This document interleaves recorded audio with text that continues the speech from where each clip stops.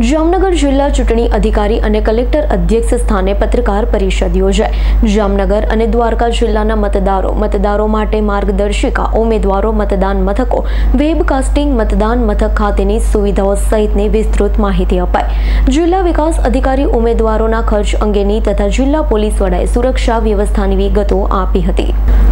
આવતીકાલે તારીખ સાત મે સવારના સાત વાગ્યાથી લોકસભા ચૂંટણી બે હજાર ચોવીસનું મતદાન શરૂ થશે. જેના અનુસંધાને જામનગર જિલ્લા ચૂંટણી અધિકારી અને કલેક્ટર બી કે પંડ્યાના અધ્યક્ષ સ્થાને પત્રકાર પરિષદનું આયોજન કરવામાં આવ્યું હતું. પત્રકાર પરિષદમાં તેઓએ પત્રકારોને મતદાન દિવસ માટે કયા પ્રકારની વ્યવસ્થાઓ કરવામાં આવી છે તેની તથા આંકડાકીય માહિતી આપી હતી. જામનગર જિલ્લામાં એક ચાર બે હજાર ચોવીસ સુધીમાં બાર લાખ સત્તર હજાર સાતસો ને છ તથા દ્વારકા જિલ્લામાં સાઠ હજાર એકસો અઠ્ઠાવન મતદારો નોંધાયા છે. પ્રથમ વખત મતદાન કરી રહેલ અઢારથી ઓગણીસ વર્ષના યુવા મતદારો જેમ જામનગર જિલ્લાના ત્રીસ હજાર ચારસો ને અડતાલીસ અને દ્વારકા જિલ્લાના ચૌદ હજાર સાતસો ને બત્રીસ મતદારો છે. જામનગર જિલ્લામાં વરિષ્ઠ વયના પંચ્યાસી કે તેથી વધુ વયના અગિયાર હજાર ત્રણસો ને સડસઠ અને દ્વારકા જિલ્લામાં છ હજાર બે મતદારો છે.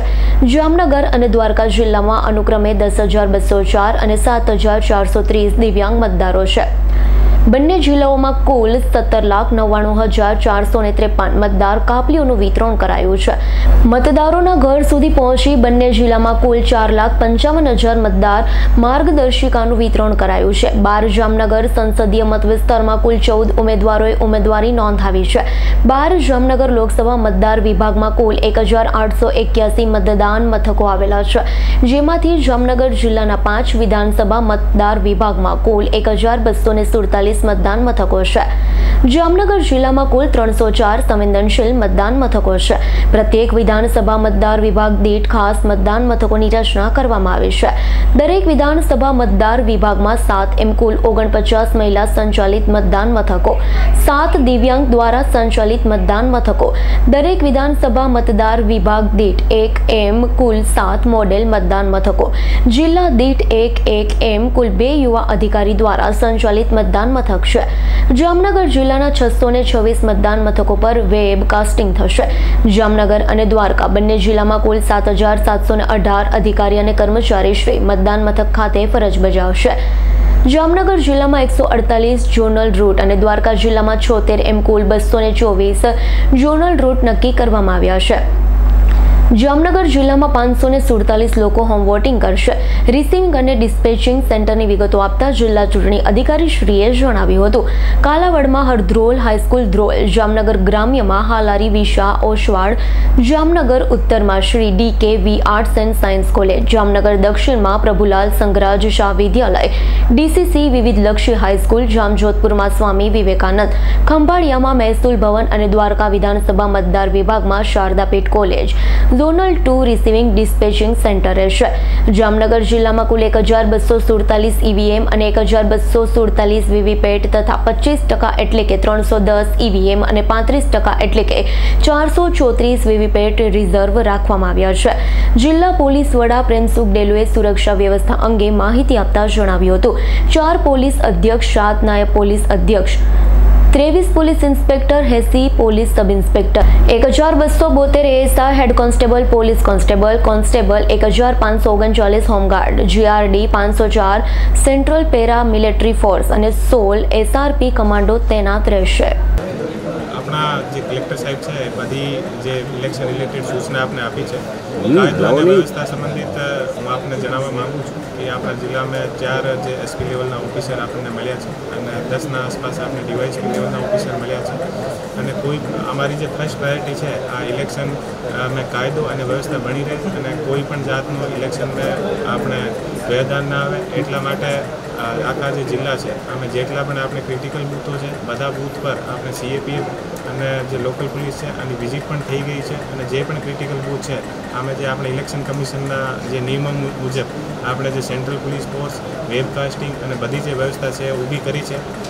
અને આપના માધ્યમથી હું બધાને જણાવવા માગું છું કે આપણા જિલ્લામાં બધા લોકો, બિના કોઈ ભય વિના કોઈ ડર અને આવીને પોતપોતાના મતનો ઉપયોગ કરે અને પોલીસની જે બધી પૂરતો, બધી જે આપણે વ્યવસ્થા કરેલી છે અને કોઈ પણ બૂથ ઉપર કોઈ પણ જાતની પ્રોબ્લેમ ના થાય એટલા માટે આપણે એકસો છે જે પોલીસ મોબાઈલની પણ વ્યવસ્થા છે અને પોલીસ મોબાઈલની જે ટીમ છે અને આપણી જે ક્યુઆરટીની ટીમ છે, કોઈ પણ જે બૂથ મથક હોય, ગામડામાં કોઈ પણ જાતનો વિવાદ યા કોઈ પણ વિષય વસ્તુ હોય, તો વિધિન પાંચ મિનિટ અમારો જે રેસ્પોન્સ ટાઈમ છે અમે પોલીસની ટીમ ત્યાં પહોંચી જશે. તો ફરીથી હું આપના માધ્યમથી બધાને જણાવવા માગું છું કે કોઈ પણ માણસ યા કોઈ પણ વ્યક્તિ આપણા જે ફ્રી એન્ડ ફેર જે ઇલેક્શન થશે, આ ઇલેક્શનના અંદર વ્યવધાન જે કરવાની કોશિશ કરશે, તો આ પર જે આપણે આઈપીસી છે અને જે જનપ્રતિનિધિત્વ જે આપણો અધિનિયમ છે, આના અનુસાર કડકથી કડક કાર્યવાહી કરવામાં આવશે. અને હું ફરીથી બધાને નિવેદન અને અપીલ કરું છું કે બધા આવીને વધારેમાં વધારે પોતે પોત પોતાના મતનો ઉપયોગ કરે અને પોલીસ બધાની સુરક્ષાની જિમ્મેદારી લે છે. પોલીસ અને પોલીસ સાથે જે આપણે સેન્ટ્રલ જે પેરામિલિટરી ફોર્સ છે અને જે આપણે સ્ટેટ જે રિઝર્વ પોલીસ ફોર્સ છે, આના જવાન આપણે આપેલા છે અને બીજા બહારના જિલ્લાથી જે આપણે જરૂરિયાત હોય તો ત્રણ આપણે એસપી લેવલના ઓફિસર મળ્યા છે અને ચાર આપણે ડીવાયએસપી લેવલના જે ઓફિસર છે એ મળ્યા છે અને ઘણા બધા પીઆઈ પીએસઆઈ અને બહારથી પોલીસ અમે લોકોને કાયદો અને વ્યવસ્થા માટે મળી છે. આજના દિવસે આજે અમારા બધા જ, જે મતદાન મથકના જે ડિપ્લોય કરેલા, જે નિમણૂક આપેલા બધો સ્ટાફ અત્યારે રિસીવિંગ ડિસ્પેચિંગ સેન્ટર પર મતદાન સામગ્રી એકત્ર કરવા માટે આવી ચૂક્યો છે. અઢારસો એક્યાસી મતદાન મથક ઉપર તમામ કર્મચારી મિત્રો અત્યારે આવી ચૂક્યા છે. બધા સામગ્રી અત્યારે લઈ રહ્યા છે અત્યારે. અને બપોર સુધીમાં સામગ્રી એ બધી એ પોતાની પાસે લઈ લેશે અને ત્યારબાદ એ પોતપોતાના રૂટ ઉપર ત્યાં એ રવાના થશે. આજે સાત જેટલા આપણા જે ડિસ્પેચિંગ રિસીવિંગ સેન્ટર છે, ત્રણ આપણા શહેરમાં છે, જે ઉત્તર છોતેર કાલાવાડનું આપણે ત્યાં એ રોડ ખાતે છે અને એસી જામજોધપુરનું આપણે લાલપુર ખાતે છે. બાકી ત્રણે ત્રણ આપણી પાસે એ જામનગર ગ્રામ્ય, જામનગર ઉત્તર અને જામનગર દક્ષિણના એ આપણા જામનગર શહેરની અંદર જ છે.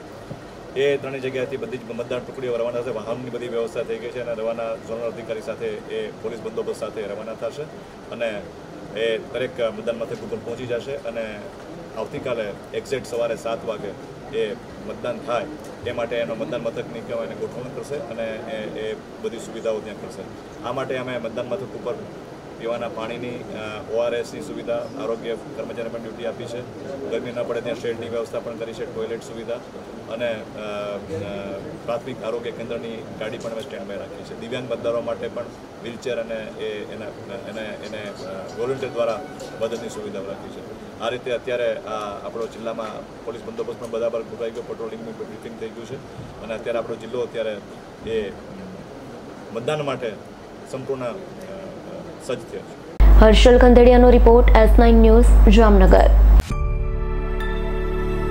અમારી તમામ માહિતીથી અપડેટ રહેવા માટે જોડાયેલા રહો એસ નાઇન ન્યૂઝ સાથે.